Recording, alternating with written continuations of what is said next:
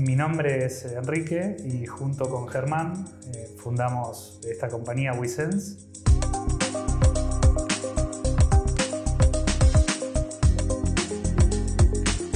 El año pasado se hace más notoria la importancia de la transmisión del COVID por el aire. El producto que desarrollamos, es un medidor de dióxido de carbono, lo que hace justamente es medir qué tan ventilado está el ambiente, permite que la gente tenga una indicación clara tecnológica de lo que tiene que hacer.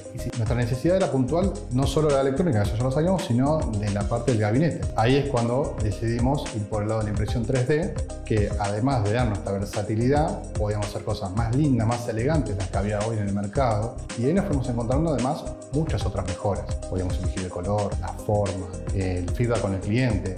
Nos pasó que habíamos hecho muy chiquito el círculo y un cliente nos dice, che, no, no lo puedo colgar. Fuimos al diseño, en dos minutos agrandamos el agujero, a las pocas horas ya tenemos un conjunto completamente impreso y aparte lo podemos hacer a demanda.